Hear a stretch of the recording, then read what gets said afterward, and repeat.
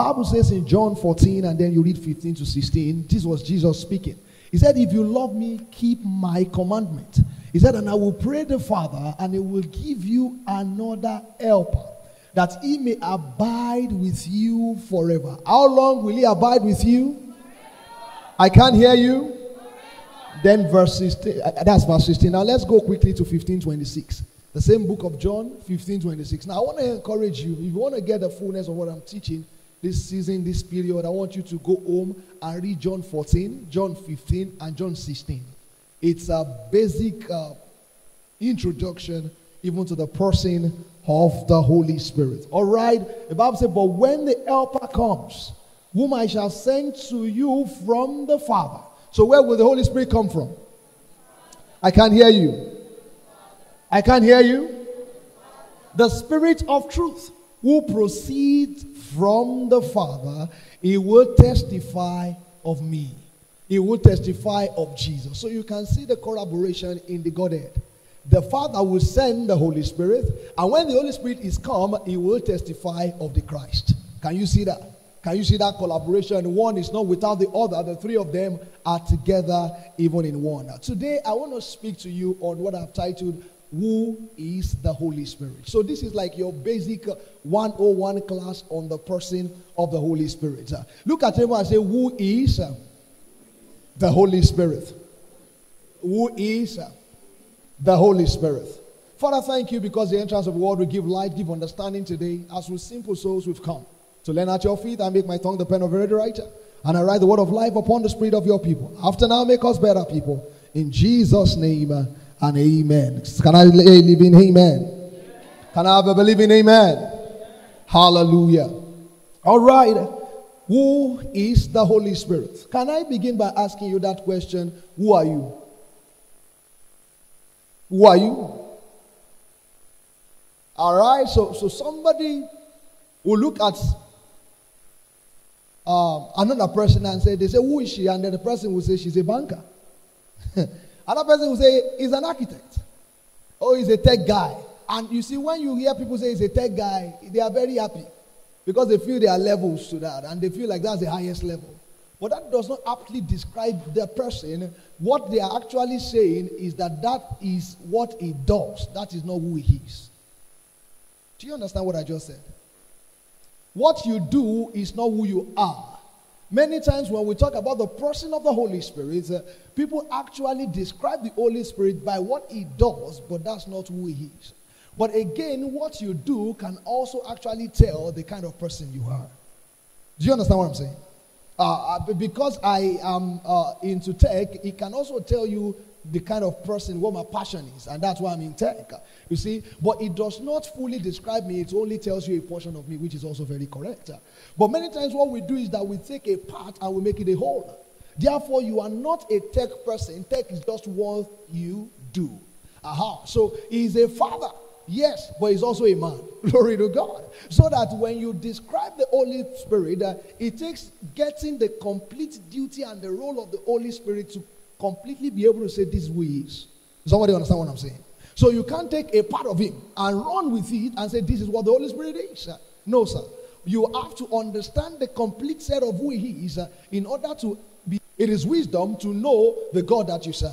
Can I say to somebody again that it is wisdom to understand and know the dimensions of God? Why? Because without a proper knowledge of God, one cannot live in his fullness. Without a proper knowledge of God, you can't live in the fullness of His blessings.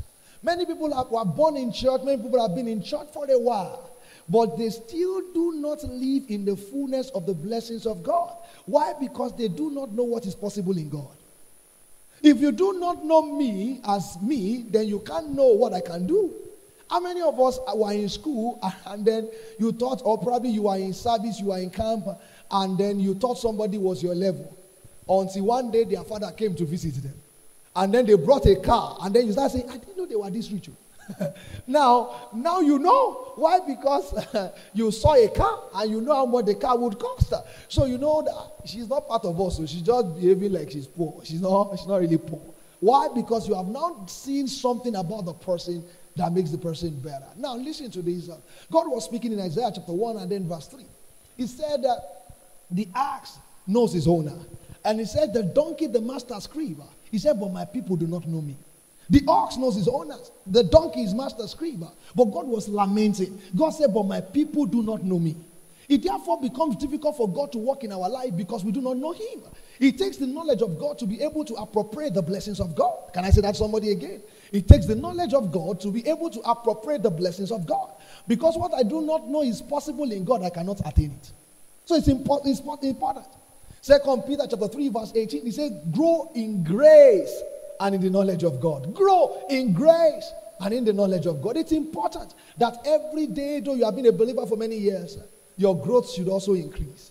You understand that? It's not just, uh, uh, you know, uh, we go to church every Sunday. That, that's just it. No, no, sir. No, man. That's not enough. There is a need for you to grow daily in the knowledge of God. So, can I ask you, is your knowledge of God better in 2023 than it was in 2022? Can I, can I, can I get an answer? Uh, that means you are growing. That, that's what that makes God happy. That's one of the intentions of God for your life. Our spiritual places cannot be limited. It can be stunted. Understand that? Jeremiah 9 23 to 24. God was saying what you should glory in. You know, we sang that song about glory. God was saying what you should glory in. He said, Let not the rich man glory in his riches. Let not the wise man glory in his, in his wisdom.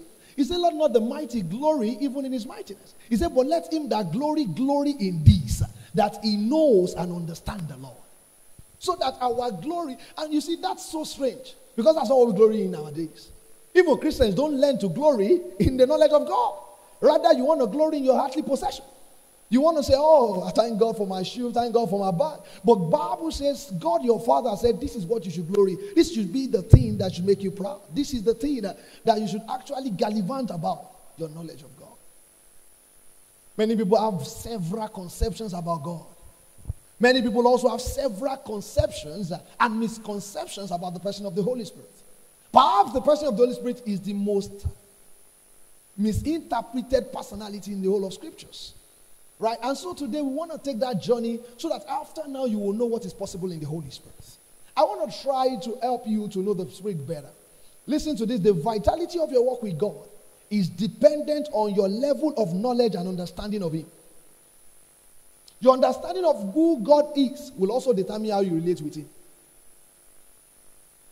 If your God is just a consuming fire and it's not love, just a consuming fire, even the way you pray will be different.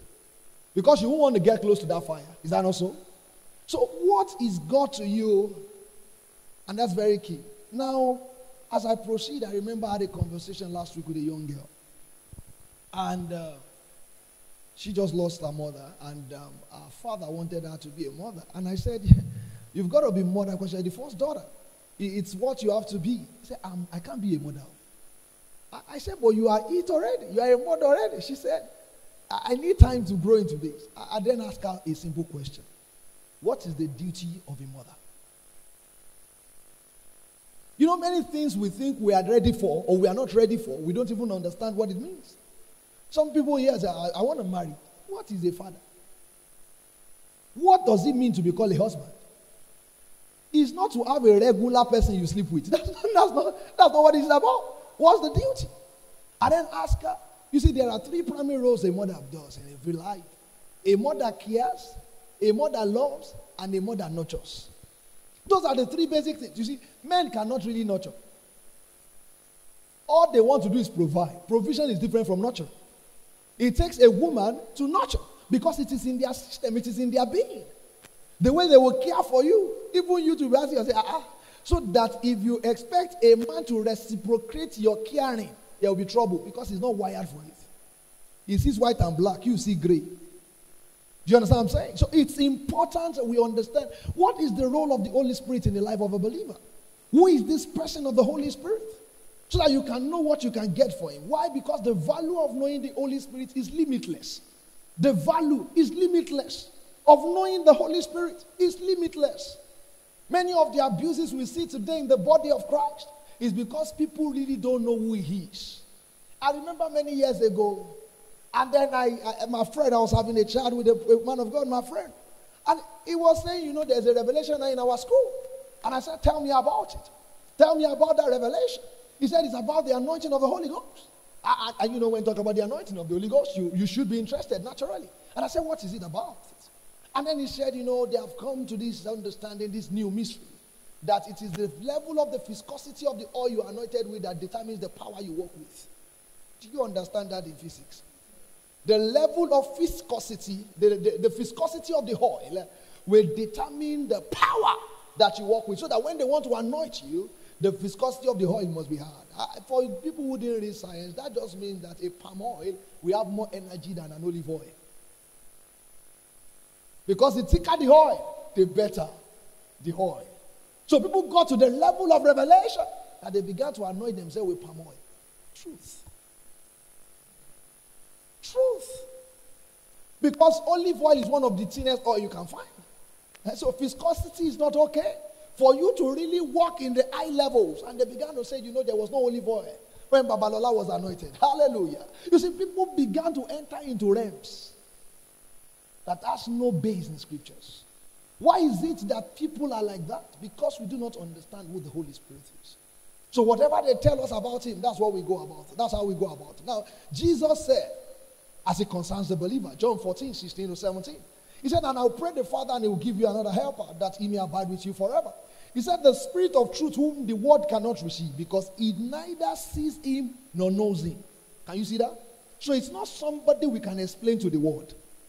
Because it neither sees him, neither does the world knows him. So it takes number one, being born again, for me to tell you about the Holy Ghost. Because you can't understand what I'm talking about. You can't feel, you, you can sense what I'm talking about. Now listen to what Jesus said. Because, because he neither sees him nor knows him. But listen, he said, But you know him, for he dwells with you and will be in you. Can you look at your neighbor and say, But you know him? Is that what I said? Is that what I said? Answer now. I, I know sometimes I can intimidate you. You can think maybe he's going somewhere else. So, is it which knowledge are we? Is that what I said? Is that what I said? So, who said it? Thank you. People are in. Eh, you see, I didn't say that. Jesus said that. He said, You know him. You know him. He didn't say you will begin to know. He said you know him. Why? Because the knowledge of the Holy Spirit is experiential. It's not book. It's not abstract. You know, that's one of the problems I had with science in Nigeria.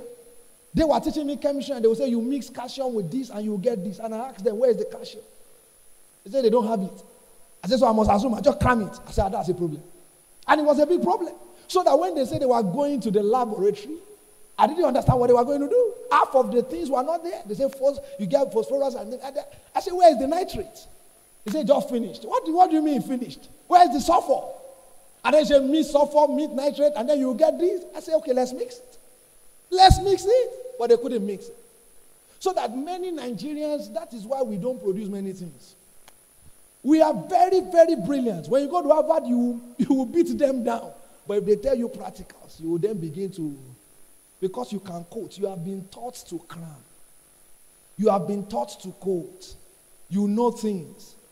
Many of the chemicals you have never seen before in pharmacy, you know them. You know that this is the drug. You put this one, this one here. But you never see them before. Why? Because it is book knowledge. It is not experiential. But Jesus said a promise, gave a promise as it concerns the person of the Holy Spirit. And what did he say? He said, You will know him. He said, You know him. Can somebody say, I know him? The way you're even saying, I know you don't know him. Say loud, I know him. Why is that so? Because how you know the Spirit is how He reveals Himself to you. No matter how much we quote scriptures and tell you the similarities in scriptures, understand that our dealings will be different. The way you hear from God is not the way I hear from God, and it will be different from the way the other person hears from God. So, as it concerns hearing and the dealings of the Spirit, uh, it will be different. And that's why Jesus said, You know Him, because He will live in you. But as it concerns His person, His person can be taught. And that's what I want to teach his person today. Right? But when it comes to the daily Christian experience, it will be different. As your phrases are different, your DNAs are different, so also will be the dealings of the Spirit. Somebody will say he woke me up in the middle of the morning, and then in the middle of the night, and then he told me, and I heard him. I said, ah, you had him. Yoruba or English. Say he spoke to me. And somebody else says, I perceive. I perceive there was a strong witness in my heart. And listen to this, all of those things are valid. The dealings are different. The dealings of the spirit are different.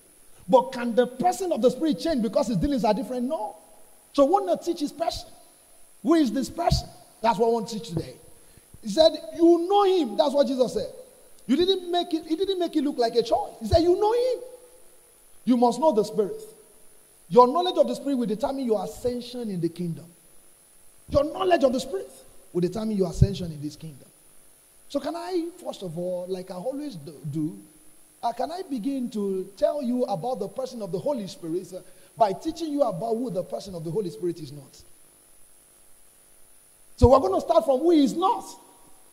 People think that's it, but this, that's not what he is. Number one, the Holy Spirit is not spiritual gift. The Holy Spirit is not the spiritual gift. I mention this because of the abuse of the gift of the Spirit in our days. Listen, can I say to somebody, the Holy Spirit is not tongues? The Holy Spirit is not tongues. And they make many, all those language, all the prayer language you've got from heaven, they are good, they are nice, but that's not the Holy Spirit. My expression, my cannot the a person cannot be a language. A person cannot be a language because a language is inanimate. You can't see it, you can't touch it. It's not real. But the person of the Holy Spirit is. He's not tongues. Tongues are a gift of the Spirit. They are not the characteristics or essence of the Holy Spirit. They are gifts of the Spirit. He baptizes us. Prophecy is a gift of the Spirit. But prophecy is not the Holy Spirit. It's an healing is a gift that the Spirit gives. But healing is not the Holy Spirit. The Holy Spirit is the giver of gifts. The gifts are not Him. I can give you a gift of a wristwatch and you keep wearing the wristwatch, but the wristwatch is not me. So that when people behave in the way that scripture says they should not behave, uh, and then they leave the place of sin, uh, and then they, oh, we should go, I still have it. After sleeping with another, man, another, another woman's daughter, I still have it. All people have now come to a time where we have deified tongues. We have made tongue the God. So that in churches or houses where tongues are not loud, you say, God, the Holy Spirit is not here. Holy Spirit is not moving here. Why? Because they are not loud.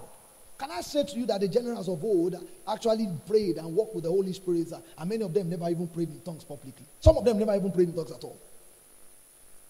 But they have the Holy Spirit. Listen to this. First Corinthians 12 4, the Bible says there are different kinds of gifts, but the same Spirit distributes them. First Corinthians 12, 7 to 11. He said, Now to each one the manifestation of the Spirit is given for the common good. To one uh, there is given through the Spirit. Through the Spirit. The gift is given through the Spirit. But the gift is not the Spirit. Help me look at your neighbor, tap your neighbor, and say, The gift is not the Spirit. Does he look like the person believe? Say it again louder this time. It is inconsistent with the truth of scriptures to define the Holy Spirit solely by the gift he gives. It is inconsistent with our truth. It's inconsistent. I've seen times where people, can't you hear his tongues? That man is anointed. Please. What kind of carnality is that? Number two, the Holy Spirit is not demonstration and power. The Holy Spirit is not what? It's not demonstration and power. First Corinthians chapter 2, 4 to 5. He said, And my speech and my preaching were not with persuasive words of human wisdom, but he said, in demonstration of the Spirit and of power. So that your faith will not stand in the wisdom of men, but in the power of God. It will not stand in the wisdom of men, but in the power of God. He said, My speech did not come to you in persuasive words of human wisdom. He said, But it came in demonstration, so that the gospel can be full of demonstration. Have you been in a place where there is demonstration of the Spirit? Speak to me. And I want to know whether you know what I'm talking about. Demonstration of the Spirit. Where you just say one, two, three, four, and then everywhere scatter. Glory to God. You hear groanings, cryings, shouting, screamings, demonstrations of the Spirit. That's what Paul was speaking about here. He said, When I preach to you, it was not in persuasive words of human wisdom. He said, But in demonstration of the power and of the Spirit. And of the Spirit. But listen to this. Uh, though there is demonstration, uh, that is not what the Holy Spirit is. The Holy Spirit is not demonstration. Today we equal demonstration of the Spirit to the Holy Spirit. If I was told of a man of God that went to preach in a place, and because he only preached the word, the truth of the word delivered people by the truth of the word. And then he left the place, no chair scatter, nobody on the ground crying, nobody groaning, nobody crying, but the word was preached simply and with authority. He left, and the people said he was not anointed. And man, he's not, he's not anointed. He's not powerful. He's not powerful. Why? they were saying he doesn't have the spirit. He doesn't have the spirit. He doesn't have the spirit. Why? Because the place was not scattered.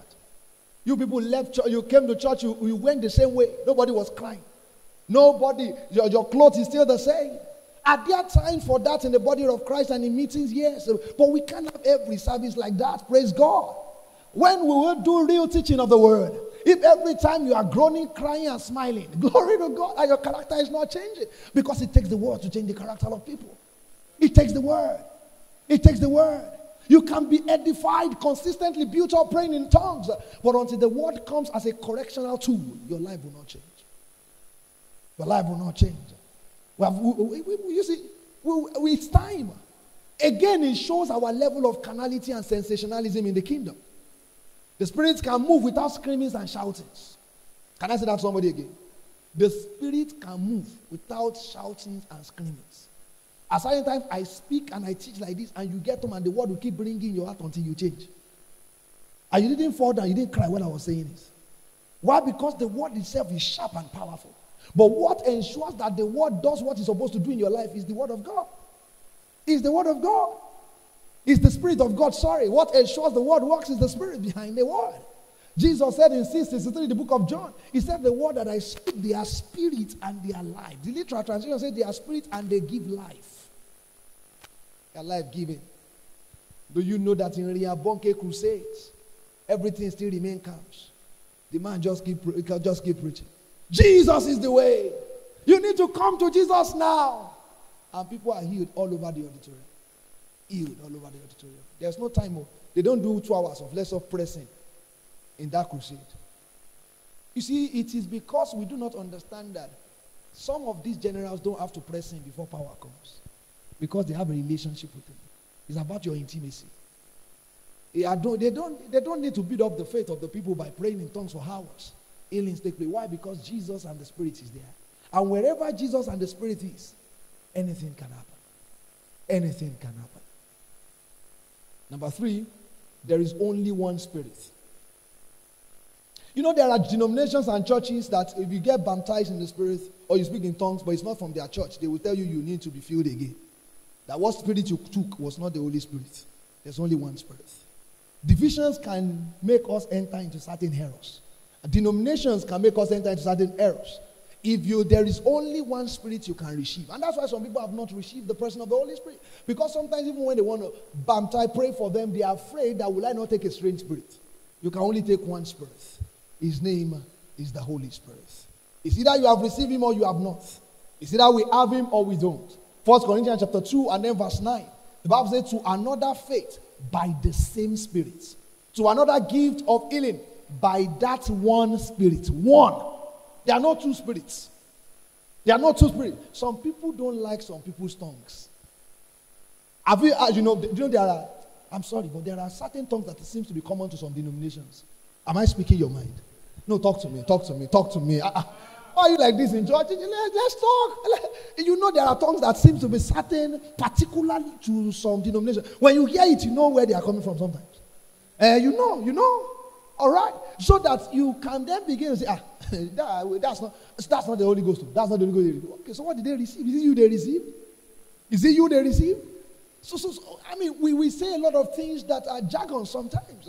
If as much as the person will lay hands on you, say, be baptized in the name of Jesus. Why? Because there's only one baptizer in the spirit. His name is Jesus. Oh, the man of God may lay hands on you, but he's not the one that baptizes you in the spirit. Ah, uh, no, he's very powerful. No, no, no, no. He's jar of clay. He's jar of clay, proper clay, proper clay, lucky clay. He's clay, clay, full time clay. You understand? So that if anything flows through him, it is not him, it is him that flows through him. Without the flowing, there will be no him. It is him that makes him powerful. Jesus is the baptizer in the spirit. Shall we pray the Father that he will send you the comfort. Jesus is the one who baptizes in the spirit. There's one spirit, First Corinthians chapter 2 and then verse 11. All these are the work of one and the same spirit. Difference in administration, difference in demonstration, difference in manifestation for the same. I've discovered many times when I preach and teach, I've discovered that especially when we move into things of the spirit, people just begin to cry. I have cryings a lot, plenty cryings when I'm preaching, when, I, when I'm moving in the power of the spirit. And these are peculiar anointings, peculiar anointings. Healings begin to take place. People are anointed into their offices uh, as working in the office of, of as working and being used, uh, given the gift of healing. And then you begin to see people say, Oh, my hands are shaking. And all of that. There are peculiar manifestations, but it's still the same spirit. Can somebody say it's still the same spirit? I mean, tell your neighbor, he's not looking at you. All things being equal, he won't fall in love. All right? So, so tell that person it's still the same spirit. Some of you need to have preaching voice. Uh, say, say it's still the same spirit. Number four. Number four. Glory to God. The Holy Spirit is not symbols. There are people that when they give birth to them from the womb, you know that they are going to be pastors. The way they sound. I don't use to sound like I have somebody we call it emoji. Even if we greet you, say good morning. How are you? I say my God. You know, there's a way my God sound like my God. And it's different. My God. I see glory all over you. Uh, it's different from I see glory all over you. It's different. Uh-huh. You see, so, so, so the, the Holy Spirit, number four, is not symbols. In Luke chapter 3, verse 22, John chapter 1, verse 32, an event happened in the life of the Christ. He was baptized, and the Bible says, and the heaven over him was open. And the Bible says uh, that uh, there came an excellency of heaven, a sound from heaven that says, This is my beloved Son, hear ye him. And the Bible also says that the Holy Spirit descended upon him like a dove. That's uh, what in English? Uh, you, you, you, you passed in school, glory to God. That's simile, right? So it is not it. Like is not the person. So that it is not until you have a symbol of dove that the Holy Spirit will be in your ministry. Are you following what I'm saying? I remember I told one guy, I said, Do, uh, get, get, me a logo. Get me a logo. He said, You preach so much on fire. I said, Yes. I said, said, and the power of the Spirit flows when you. I said, yes. So when he returned the logo, I should not have said yes. When he returned the logo, there were fire burning everywhere. I said, hey! Hey! Glory to God. Listen to this. It is not, it's a symbol that describes, you see, in scriptures, there is something we'll call pictorial teachings. God will bring certain pictures, that images that you are used to, in order to teach a spiritual truth. Right? It, it, the Holy Spirit is somebody you have not seen before. You don't know him. So God will bring something you are used to and you know, such as the oil. You know the oil. So it begins uh, by telling you certain characteristics about the oil that also describe the person of the Holy Spirit. Have you seen people you say, ah, uh-uh, that one is just gentle as pap. Uh, gentle as pap. I mean, if you put anything in his mouth, you meet it there. He does not say anything. Right? Um, but that person is not pap. Is he? All right. So, so I'm just trying to say that we confuse a lot of things in our days. In order to teach a side of a person, God may emphasize a path, but it doesn't mean that's the Holy Spirit. You understand that? So stop carrying oil. God cannot be in a bottle. Do you follow what I'm saying? It's a characteristic of Him. He assures and He agrees that you should anoint people with oil, but it does not mean that the Spirit cannot flow until you, and until you anoint people with oil. Glory to God. Do you understand what I'm saying?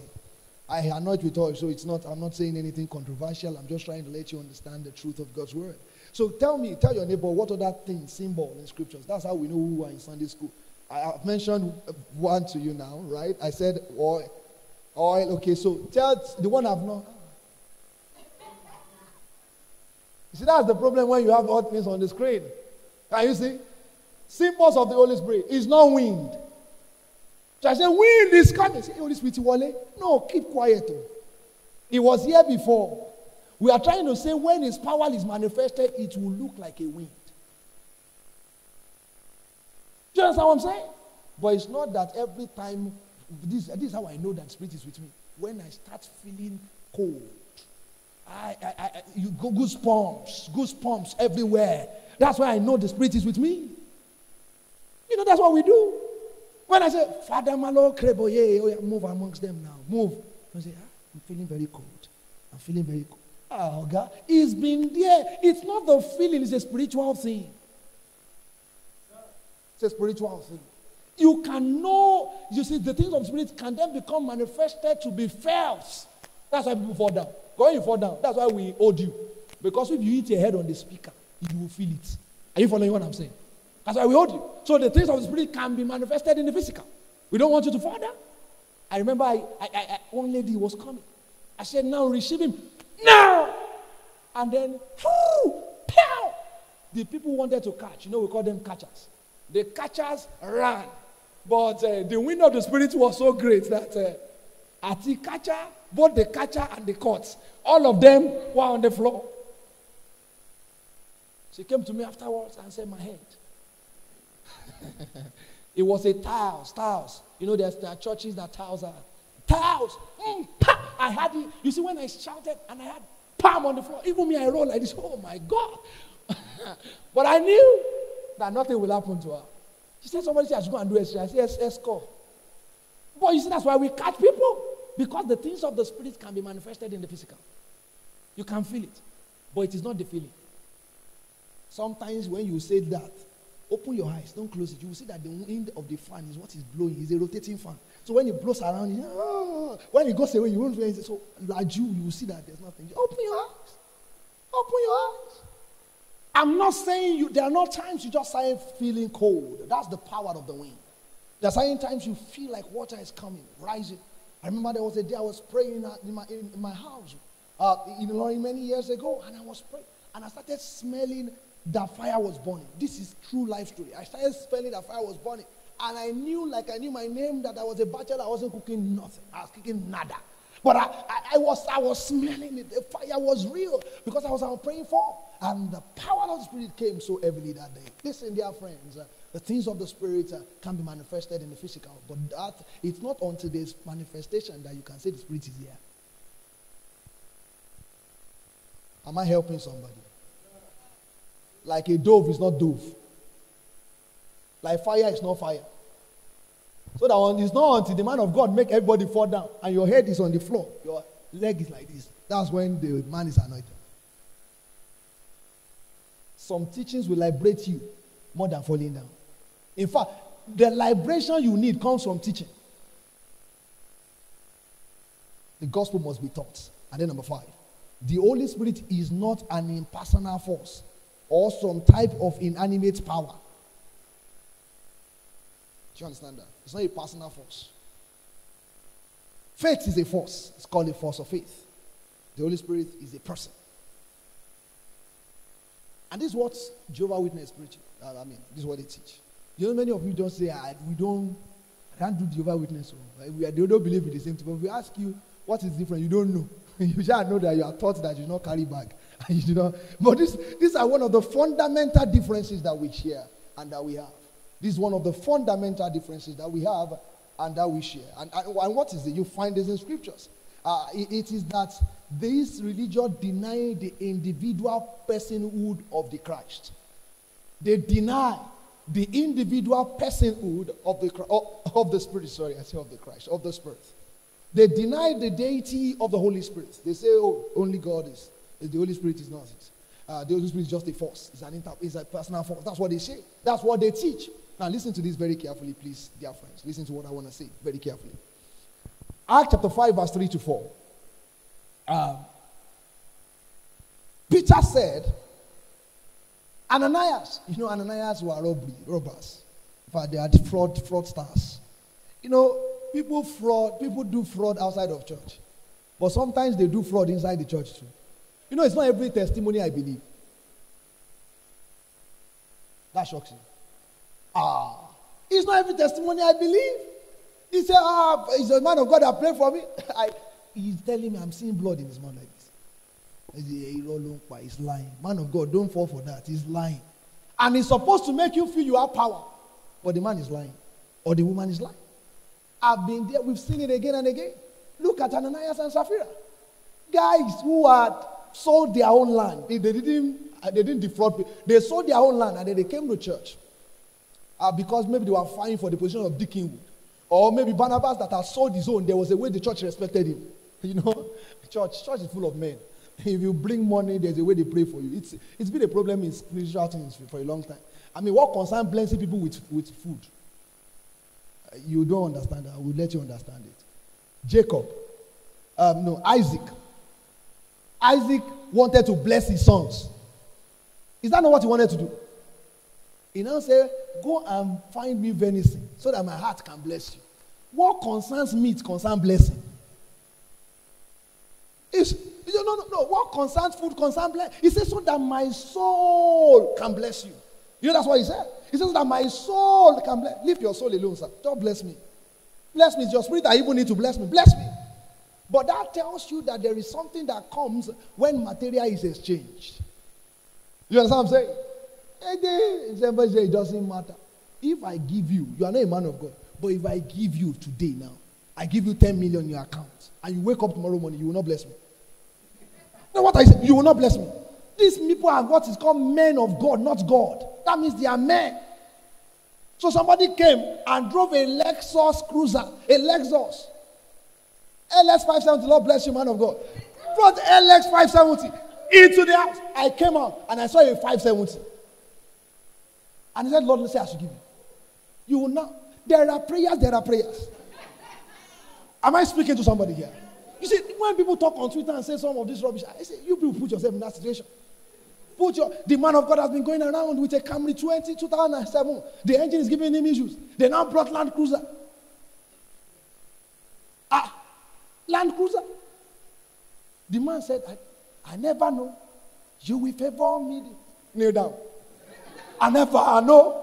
You will favor me. Down. Ah, where should I start? He knows he's blessing an Igbo man. But he also say, Ọlọ́run àwọn. He knows that the man does not hear English. But Ọlọ́run àwọn ọmọ. He, he, he, is blessing from his soul. Some things, uh, you see, what you talk, let's if I call you now and you just got a job, you don't have clothes to wear, and I give you five suits. Five suits. Salvatore Ferragamo. Five. You will bless me till you get home. You will bless me till you get home. Am I speaking your mind, sir? Next year, sir. The next year, you will be blessing me. Wow. That's what happened. You can provoke some things. Let nobody lie to you. You can provoke some things. The, the, the anointing is for sale. Rubbish. It is what they gave. The man has been delivered from Camry. The man says, should not bless. What concern blessing with food? Jacob said, Go and find venison. There are suyas you bribe people, not from Ajaunda Bridge. You will find the suya at Lekki Phase 1. People, suya empire. You bring it. Your mom will say, Ah! Ah. She's eating it. She's not praying. She's eating. Say, ah! And I like this thing. You will never be stranded. You, she's, just, she's just blessing you. Ah. Let me go back to this message. But Peter said, Ananias, that's the fraud people, right? They sold land. You know, Barnabas had somebody had sold land before. Maybe he now saw that his chair changed in church. He now felt the both of them and say, ah, my husband must be a deacon in this church, in this assembly. Let's sell that land. But we will now, they can't get us. Take half of it and take it to church. So that um, the remaining half, they ask us, we can still use the remaining half for some deals. So that's what they did. They just read the scripture like it was happening in Nigeria. Lagos boys. That's what they would do exactly. Ah. Somebody says those people that told you. You can know. How can somebody tell me that it's, it's old land? Uh, 10 million at Lekki Phase 1. and he brought it to church. I mean, that doesn't. If going to do, you won't do that. They have kept something. So the man knew. Why would you lie to the Holy Spirit? Now, listen, this is my point. Can you lie to somebody to something that is not real? If it is a force, like they say, can you lie to your television? Is somebody following me? You can only lie to a person. It means that you can only lie to somebody that can be deceived, to a thing that can be deceived. You can't deceive your car. You can't deceive something that is inanimate. You can't. You can't deceive faith. You can only deceive a person. And the scripture says, Why is it that they have chosen in their hearts to lie, not to Peter, but to the Holy Spirit? It's a person. It's a person. I'll give you another scripture for that. Matthew 12, 31 to 32. Therefore, I say to you, every sin and blaspheming will be forgiven men. But the blaspheming against the Holy Spirit will not be what? Will not be forgiven. Blaspheming. The word he used there was the word therefore. That's where it started from. That means what I'm going to say now is, is explaining what I have said before. So to understand the context, you must have read what he has said before. And in the former verses, we saw that Jesus was talking about uh, how people appropriate the power of God uh, to the devil. So that's the context. So the lie against the Holy Spirit is actually appropriating the power of the Spirit to the power of the devil. That's what it means. And Jesus was saying that you, you said, but every blaspheming against the Spirit will not be forgiven man. Against who? Can you commit blasphemy against somebody who is not real? Against somebody who is not a person. So the Holy Spirit is a person. It's important we know these things because if he's a person, then the way we relate with him will be different. It's not just a force. Help me look at your neighbor and say, The Holy Spirit is not just a force.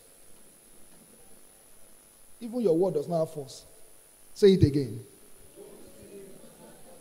Number, four, number six now, the Holy Spirit is not non existent or non active. It's not a docile being, He's working. He's the eternal Spirit of God. He works with you, He's active, He's present in everyday life. If not all of these, all right, so having said all of, all of that, if I have busted your bubble by saying the Holy Spirit is not tongues, it's not wind, then the question that should come to your mind and the question that should answer by itself, that should follow naturally, is who then is the Holy Spirit? Number one, who then is the Holy Spirit? Number one, the Holy Spirit is God. The Holy Spirit is not like God is not substandard God or what you can call junior God or God junior. you know when you, you know, um, if I have a son now, I can decide to name it Fisayo Junior, right? Like Kenneth Hagin Junior. Uh, when we were growing up, there were a lot of juniors. I'm, I'm not sure people do that again now. Uh, because uh, again, again, Pentecostals came and said, when you call your son junior, it means that you are saying that his, son, his life cannot be better than your whole. Mm. No, there's a way we share revelation that are very deep, sensible, but doesn't have scriptural basis. But because it's sensible, we say, oh, oh. so you are not calling your son junior. You are just going to call oh, your. I even had somebody say he's not junior, he's senior. You know, when you call your son name, say, I don't call him that, that is senior. You tell some people, please go downstairs. I won't go down. I won't go down. I'm going up in Jesus' name. You're having a conversation. What, what's this? What's that? Yeah. Yes, are you the last person on the line? You, you got that? Are you the last person on the line? No, God forbid, I'm not the last person. I'm the head, I'm not the tail. But somebody must be the last person on the line. Everything is not to be turned to a spiritual jargon. That's why some things they don't respect us anymore. We have just make a mockery of everything a mockery of everything. So because you're the last person in line, mean you are the last. No, no, think about that. A line that you are in the bank or a line in POS, it, so it means that you are going to be the last in life. Go see a rational. It's not rational, but rationality at all. You see what I'm talking about here? So it's not junior God. that word junior God means a lot. Second Corinthians 3 17. 2 Corinthians 3.17. What did the Bible say? Read, let's read that together. One, two, three, go.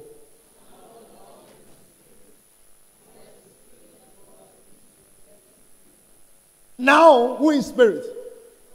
Now, the S you see there, I told you, you see, when you are reading the New Testament and you see the word spirit, uh, this is how you will know whether it's talking about your human spirit or the Holy Spirit. When it is the human spirit that Paul or any writer is talking about, you will see the letter small s. But when you see the word capital S, it's talking about the Holy Spirit. So see that. Say, now the Lord is the Spirit. He didn't say now the Lord is as the Spirit. He said the Lord is the Spirit. And where the Spirit of the Lord is, there is liberty. Ephesians 4:30. Let's see that together. Ephesians 4:30. Now, the Bible says, and do not grieve the Holy Spirit of what? Of Lekki. You know, I told you there are not two Holy Spirit. You say, don't grieve the Holy Spirit of our church. the Holy Spirit of God of God. Of God. It's the same spirit. It's the same spirit. John 4 24. Have you read John 4 24 before? Now the Lord is spirit. He said it clearly. Now the Lord is spirit. Now the Lord is spirit. And they that worship him must worship him how? God is spirit. God is spirit. You remember 2 Corinthians chapter 13, verse 14? You don't know it. Do you know 2 Corinthians 13, 14? I can swear with my last dollar that you know it. I can swear with my last dollar that you know it. Do you know it? You know it. I told you from children's church, you have been even in primary school. For the grace of our Lord Jesus Christ, but you don't know where it is. Now rule it down. Join this with the verses you know, like John uh, John 3:16. No, join this one with it. you see? The grace of our Lord Jesus Christ and the love of God and the communion of the Holy Spirit. That's where we get Trinity from. Can you see that? The communion, the koinonia, even of the spirits. Just like you are triune in nature, the, the Lord our God is also triune in nature. If I may ask you, uh, if I may ask you, Delight, can you come upstage? I know you are writing. I, I can see you writing, but come, come. Don't worry. Are you shy? Uh, you can't be shy. Glory be to God. Amen. So you understand that basic thing we used to say that Delight is. Um, so Delight is um, this is Delight container. I can hit the container. This is the container, right? This is Delight container. This is Delight body, right? Delight also has a soul, the mind, the seat of his emotion. The soul is inside there, right? But the true Delight, the one that does not die, that goes to eternity of hellfire or heaven, is the Spirit. The, that's the core of Him. That's the main Delight. Right? And many times Delight goes to the gym. I just think it's the time to also preach this. You don't like gym. Okay. Just assume that you go to the gym. But you okay, you don't like gym, but you like food. Aha, beautiful. You the way he said that. Now, in maintaining the body, Delight eats food, right? But so you can see Delight now, and some ladies can say, I love that guy. I mean, let's not put any this man, pass mark, right?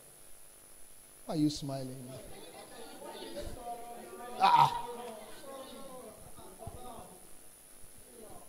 It's handsome, right? See, see, see this in church, eh? Lola. I built, I know she with all her. Oh, she, thank you. Now, so, so you look at him and say, wow, I can say yes to him. I can say yes to him.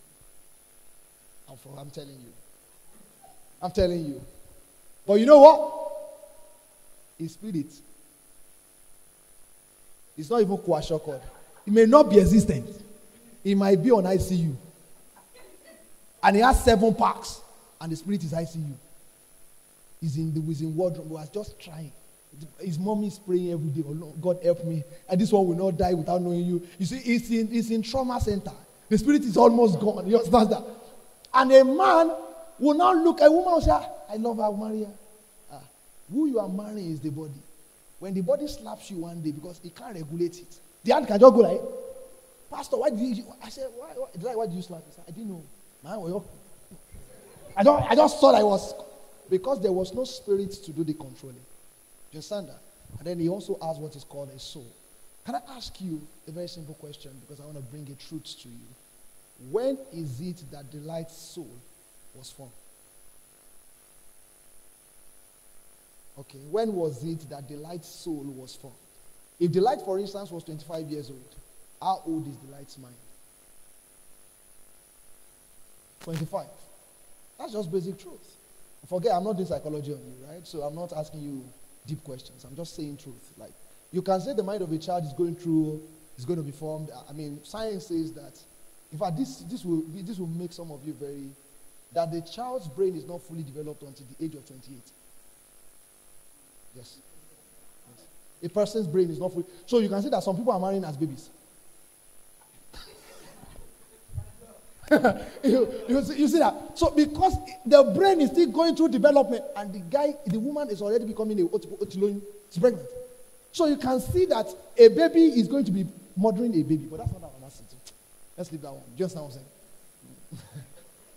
so you, you get what we're trying to say now is that Delight has a soul, it has a spirit, and is a God, the Holy Spirit was not formed.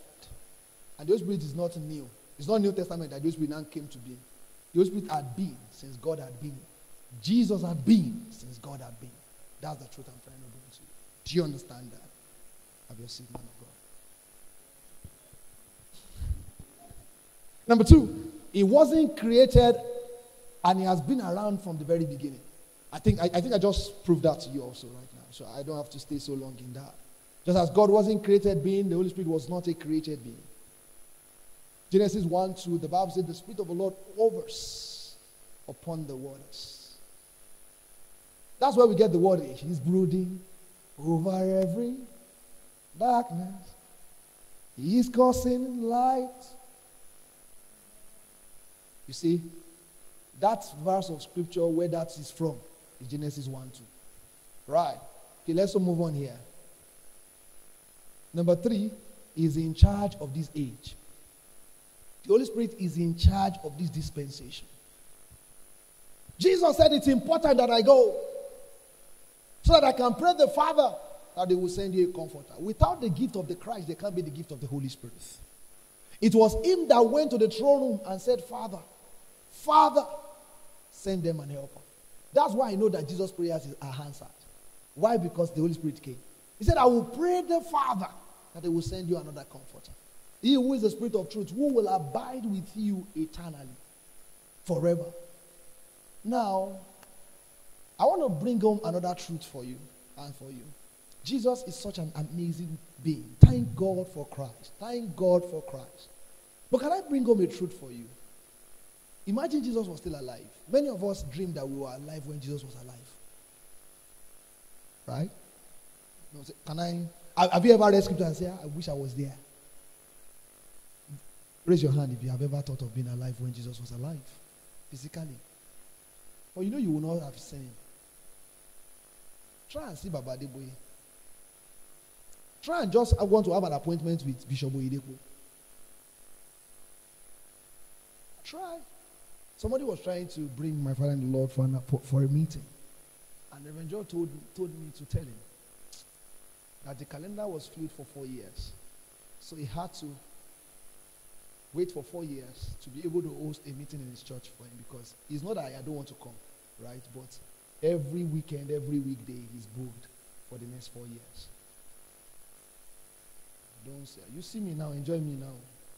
I'm just telling you, I'm telling you down. I'm telling you down. So, for four years, he said, You can't, I, I, I can't make it. He said, Sire, come and see. So, for four years, he was booked. Now, if Jesus was alive physically, if a man of God can be that booked, do you not think that some of people will die waiting on the line? So, what Jesus did, in fact, where will he be staying? If Nigerians, if it's not in Africa like this, ah, I don't know how Nigerians will see him because I'm sure that that country they will be denying us visa. Where Jesus was staying, they will be denying us visa. I'm telling you. If, just imagine. I, I read the statistics of how many Nigerians are denied U.S. visas on a regular basis, right? And I'm wondering if Jesus was staying in the U.S. I don't. I don't. I, in fact, because he's there, they will be denying us because they know that we are religious people. They won't let us come. They won't let us come. You see, when they say Jesus wants to have a global meeting virtually, your network will be down. Everybody will want to connect because Jesus is here. You know what Jesus did? Romans chapter 8. The Bible says what Jesus did. Romans 8 9, Romans 8 11. What he did was that he converted what that cancer would have been in his person. He gave us his spirit so that all of us can have that essence. Is the reason the Holy Spirit is called the Spirit of Christ so that I don't have to go to the US, being in, Ohio, waiting for the Lord. You can be in your room and it will look like you are with the Christ. Do you see what we are saying? But you are not in the flesh, but in the spirit, if indeed the spirit of God dwells in you. Now, if anyone does not have the spirit of Christ, is none of his. The spirit of Christ. Do you have the spirit of Christ? Raise your hand and just celebrate that. Hallelujah. Hallelujah. Hallelujah. And that's why we tell people that without your pastors, you can make some decisions. Right? Because you have the Spirit of Christ. He's in charge. God, who has sundry times, Hebrews chapter 1, verse 1, has spoken, spoken to the fathers via the instrumentality of the prophet, as in these days chosen to speak to us through his son. But that was when the son was alive. Right now, he's speaking through the Spirit of His Son, the Holy Ghost. He's the Holy Ghost. You don't know that? The Holy Ghost, scepter of the King of Kings, is the Holy Ghost.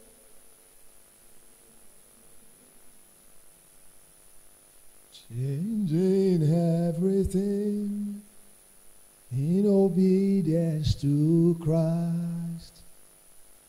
Is realigning everything in obedience to Christ. The Holy Spirit will never lead you in disobedience to Christ. The Holy Spirit will never lead you in disobedience to the world. I remember many years ago, a lady came to me. I was believing God for me as a husband. That's awesome, right? Very awesome.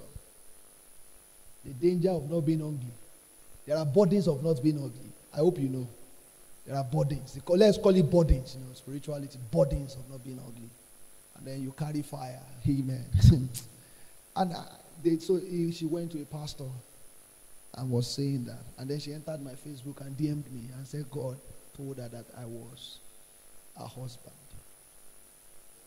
So I, I, I needed to inform her that I got married seven years before that time. That if she goes through my feed, she would have seen my wife and my children. I don't I make it very public. And I thought that would stop her, but she said she knew what she had.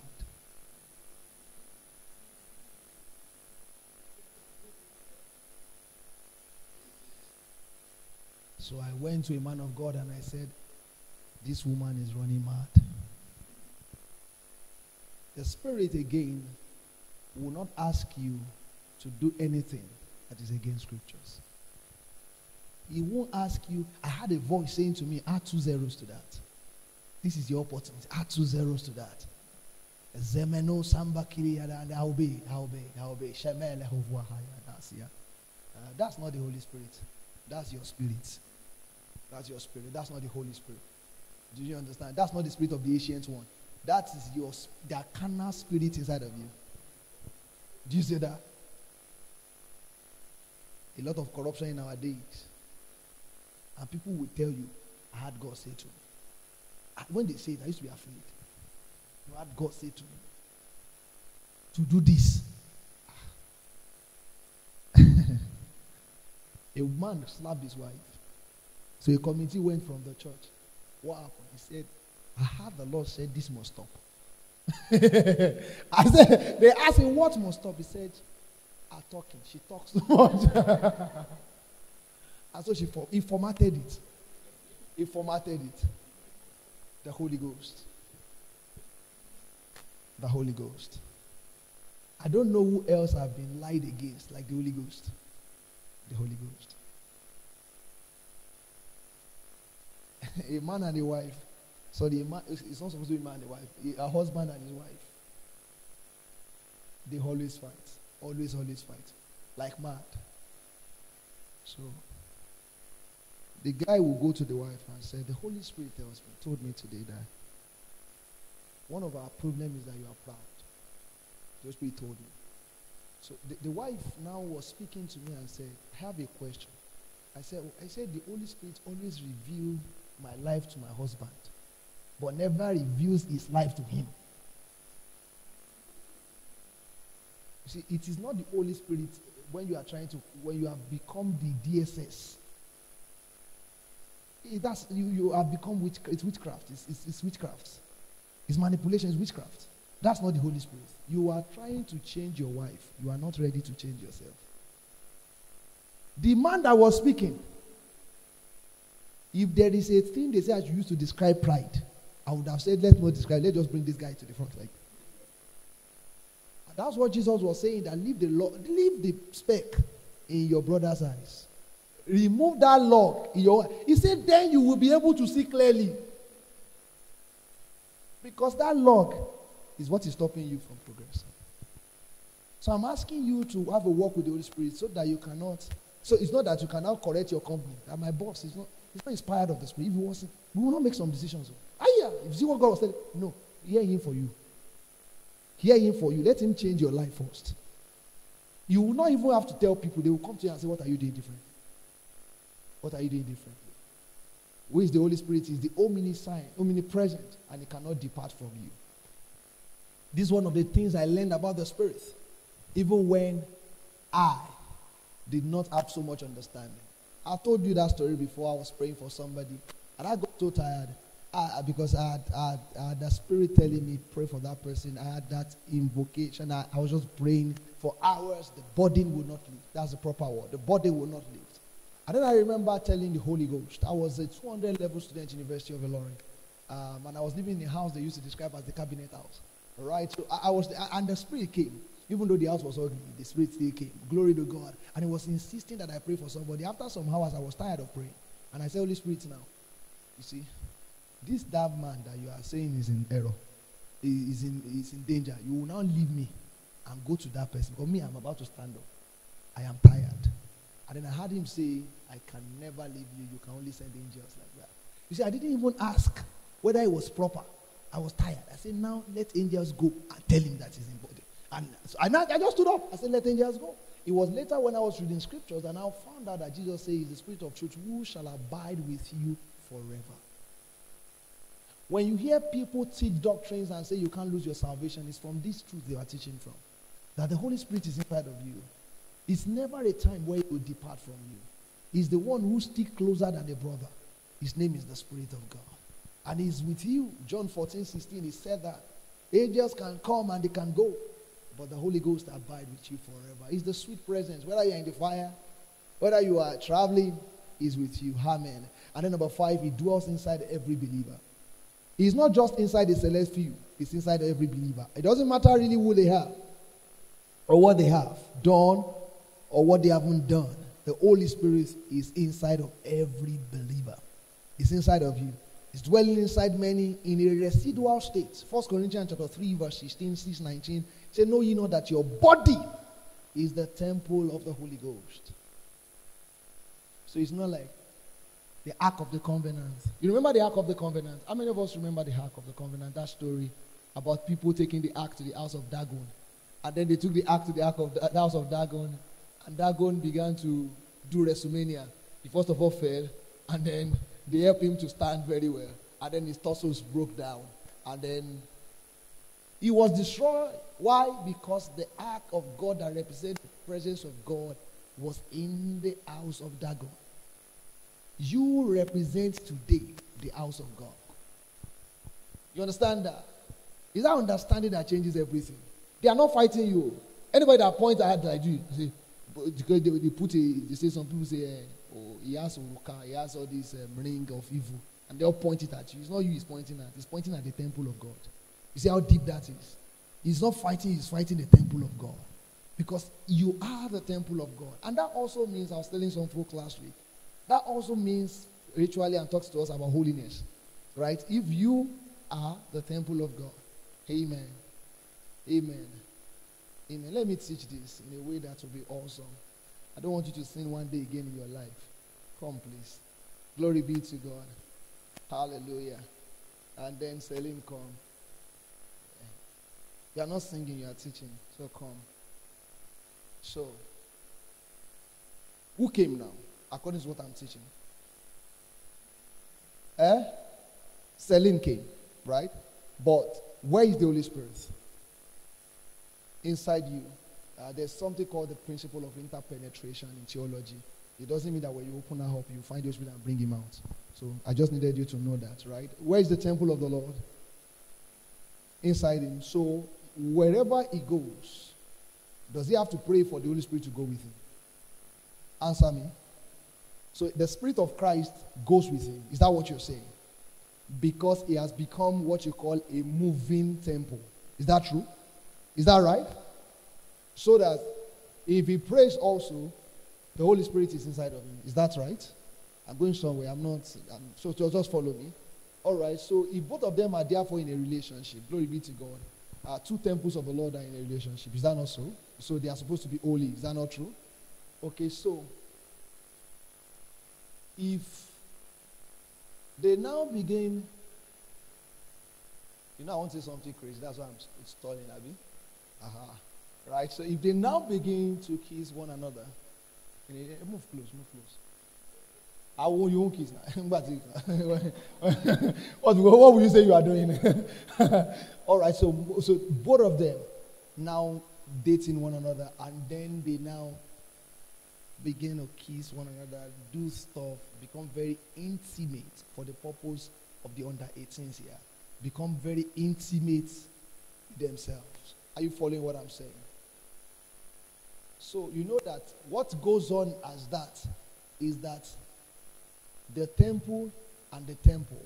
So eh, Jesus, I mean, the Spirit of Christ is just is looking like, I mean, do you get what I'm trying to say?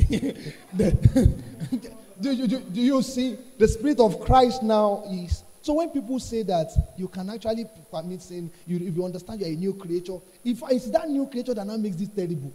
Because in those days, this presence was in the in Jerusalem, right? So we can quickly do things in Galilee. In as much as we are not in Jerusalem, we just carry goats and go to Galilee and go and say, ah, we have done things. Do you also know this will shock you? That there is no sacrifice for fornication and adultery in the Old Testament. Should I also give you one million dollars? You know, I, I, I, I so I can give you another challenge. But there is no the scriptures. There's no sacrifice. God does not just expect it from his people. Because it's this temple, it's his body. You know the sacrifice for that in the, in the Old Testament? You are supposed to be stoned. It's death. No sacrifice. It's death. You're supposed to be stoned. That is a temple. Oh. Imagine them now saying, Look at Phineas. They went and sacrificed a strange fire. Strange as it that it was not commanded of the Lord. That's strange. That it was not commanded of the Lord. Are you following this teaching? Now, imagine that temple that people only go in I'm teaching living close to God in midweek service. You should follow that series. Now, listen. So, you as a person goes to the temple and you cannot enter the temple. Do you understand what I'm saying? You go to the temple and you can't enter the temple because you stay in the outer place. That's where you stay. Only the high priest enters into what is called the temple, enters into the core, the inner, the holy of holies. And he also cannot even enter every day. He enters once a year and not without sacrifice. So he goes and enters into the presence behind the veil. Now, listen, I want you to see what it means to be the temple of God. He enters into that inner core because that is where the ark of the covenant is, where the mercy seat covers. Because he can't go without mercy, because no man can be pure to enter that kind of spot. Now, as the high priest enters, this is what will shock you, and this is the sermon. As the high priest enters, he does not enter without a chain. A chain will be chained to his legs, and the chain will be outside. So as he goes, and there are all those other things, on the edge and the hem of his garment is what are called pomegranate bells. So that as he's walking around, the bells is making a sound. When we stop hearing the sound of the bell, Abatiku inside the place, that means he has died in the presence. If we stop hearing the bells, he has died. And because he's dead, we can't go and carry him. You know what we'll do? That chain will help us to pull him out. That's how holy your God is. But now, God now said, I'm tired of this. I'm tired of this separation. I'm tired of this. On the cross, Bible says the veil, that thing that represents the inner space, was not cut from down, it was cut from up. It was cut from up, telling you that it was a God act. God divided the Eden wall of part, the wall of partition that separates him from us because he wanted a relationship with us. So now God is not in that temple. God now came into Selim and came into him. And they now decide that they can be disgracing God anyhow, treating the temple anyhow. Because it is still not yours. Because the moment God comes in, then you have become a tenant in your own body. It's important how I use that temple. It's no longer my home because I've given in to Him. Because that's why Scripture says you are bought with a price. Therefore, glorify God in your own body. With your own body, glorify God. Do you understand that? Don't worry, you're not in a relationship. Not to talk of kissing. Go and sit down, everybody. Thank you so much. The Lord bless you. Do we get what we're saying here? Where is the Holy Spirit? So, uh, let me quickly lie. God will not hear. I've closed the door. He doesn't have to hear. He's already with you. Be careful how you live your life. Number six is a gentle, caring, and loving spirit. The Holy Spirit is the Spirit of God, therefore, He doesn't force Himself on anyone. Through the Holy Spirit is a very gentle spirit, yet in manifestation and works is extremely powerful. Powerful. And I love him oh, when he acts like that. Because there's a way some sandalic sisters and brothers cut up to church and then you preach and then they are looking at you. They won't even smile and all of that. And then when the power of the Lord breaks loose, you just hear them scream, ah! I say, Oh God, I love you, Jesus. I love you. I love you, Jesus. Why? I, I couldn't reach him. Oh. I couldn't reach her, but you did. One boy, we went to church together, and we said, Today we will not fall. We're in 200 level. And they had told us about the man that was coming. Such a powerful, anointed man. And then when he began, he began, he said, I will now begin. Two people here will begin to speak in Chinese. Via Osha. Where are they, Lord? Where are they, Lord? Chia, chia, chia. Then I begin to hear, we are one here. And then everybody just started speaking. I said, what's going on here? what is going on? I stood very well. I said, what is go- whatever is going on here is not my portion. And I look at my brother. He was also an international Ekwa boy. I mean, I was raised in Ibadan Ekwa. He was raised in Oshun Ekwa. So it was a combination of Ekwa. And I said, I look at him, my brother. I said, evangelicals, what is the meaning of this? I said, we'll pray in tongues. I said, let's continue praying in tongues. Vedo, Shabalia. And the man said, now seven people. God told me he's touching seven people afresh. And I look my brother. I said, are you here? He said, I'm here. I said, stand where? And then I, he heard the pillar by, very close to us. This was Stadium Church. He heard the pillar very close. I stood, I stood, I said, and I hear, one. Come on, Jesus, do your work. Two. Come on, Jesus, do your work. Three. And then I four. And then I chapu. Where are you? The man was on the floor. I said, God, why did you disappoint me this way? I said, Fisayo, it's not going to happen to you. Last man started. I didn't fall. But have I fallen before? There was a day Reverend George was just walking. I, I, I was following him, catching people. And then suddenly he turned.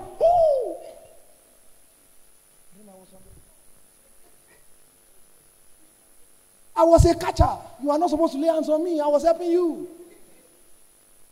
And they said, Bring him up, bring him up. I had to bring him up, bring him up. It was cloudy everywhere. And then boom, and I went again. I said, the gentle spirit, but in works, he manifests himself in a very awesome way. Very awesome. Steadily awesome. Disgraces people in a very good way. People be crying, say, What happened to me? I say, I don't know. People come and report. I say, ah, What happened? I remember I go, I, one girl. God, thank God she's not in this church today. Let me tell you a story. I, was having that meeting, singing, Glory to God. There was such a move of God. And then we, people were slain in the spirit. I knew how to close the service. So I said, If you can go, you can begin to go. Choir keeps singing. And they kept singing. And she fell down. And then we were waiting for her two hours, one hour. You eat her like this. And then she was gone. Totally finished. I said, ah, Holy Spirit, peace.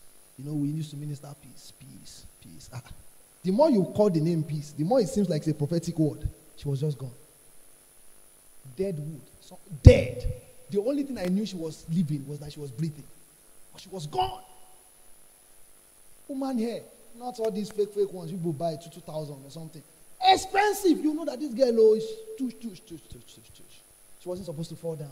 The perfume was still smelling like the presence of God. You understand? But she was done. So that day, after a while, I said to us, I said, I'm going. I said, We are going on. The person wanted to off the gen. It's diesel now. Said, Let's go. So we took her in the car I took her in my car and I carried her to the house. I was asking myself, Fisayo, if they even say you have killed this girl now, or you have raped this girl now, what will we see now? Because she can't even see anything. It's like we have used her. I just come to dump her like your boys inside the school. I'm telling you. The security people say, ah, what in law? They want to drop her. They have used her. Oh. Uh, what will you say now? I'll say my ID card. And she can't even answer because she was still dead, gone. So I called her friends. That one came, you know. you must have friends that understand spiritual things. This one has no understanding. I say, What did you do to her? Say, ah. Is that maybe she told she was coming to church?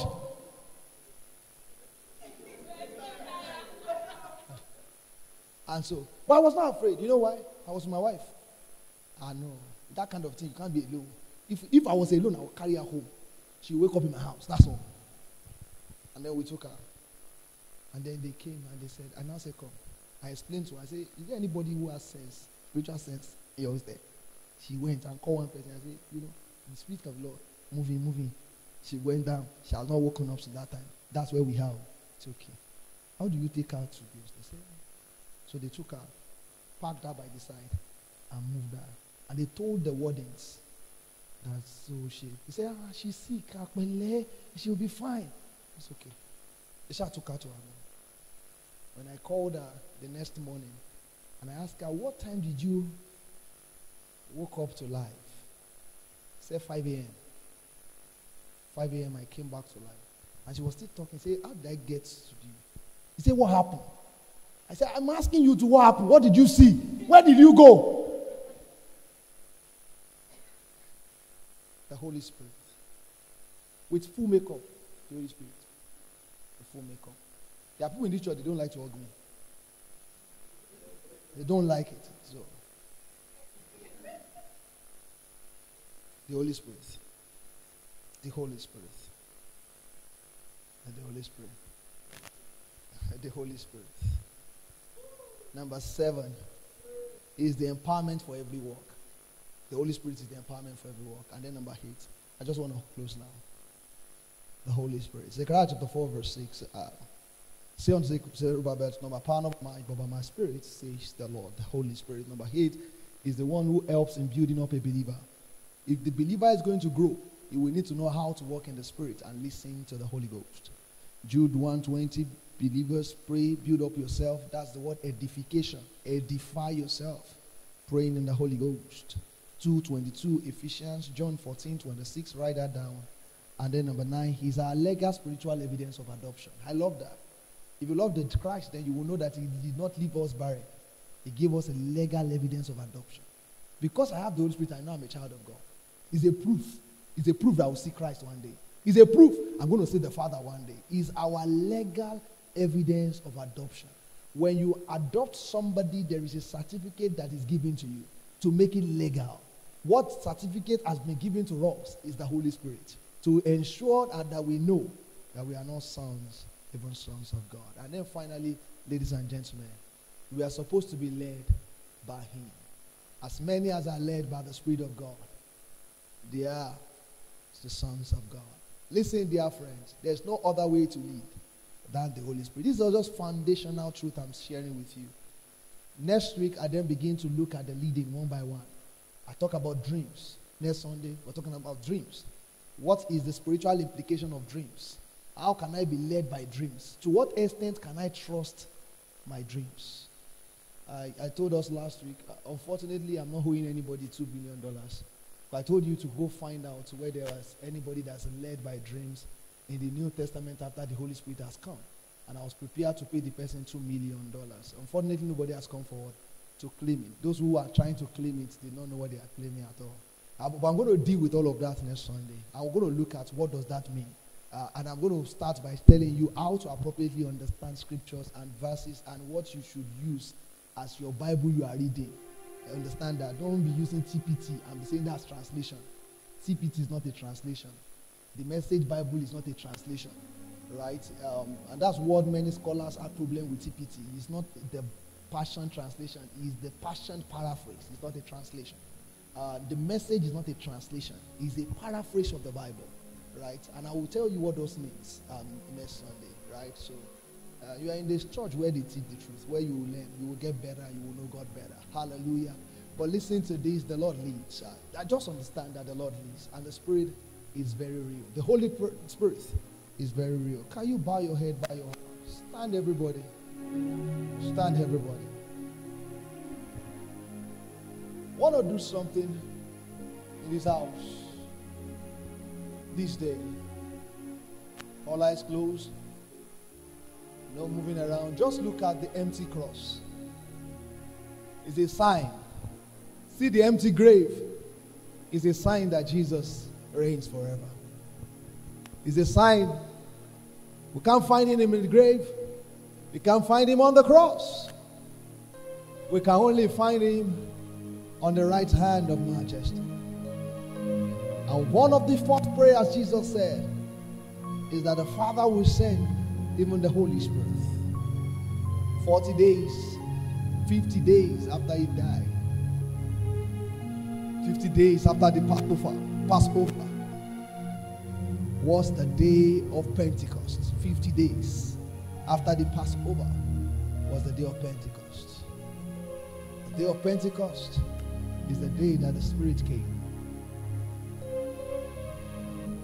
After the day had come, fully come, the Spirit came. Lord spoke to me many months ago and said to me in the month of May specifically that this place has become the upper room. And we're going to have an upper room experience. What you're going to do today is going to be very simple. You're just going to stay as you are. And you're going to say, the Holy Spirit, Holy Spirit, Holy Spirit. I'm going to say that, that seven times. And then you are going to say, Cleanse me, renew me, change me. I want to make it three. Change me,